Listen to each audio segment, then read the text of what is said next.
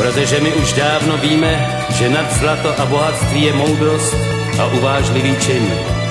Že Eldorado není kdesi v dálce, ale docela blízko, v našich srdcích a v našem myšlení. A že jeho pravé jméno je svoboda, pravda a porozumění. Nosíme je v sobě a ptát se na ně je naše přirozená povinnost. Jí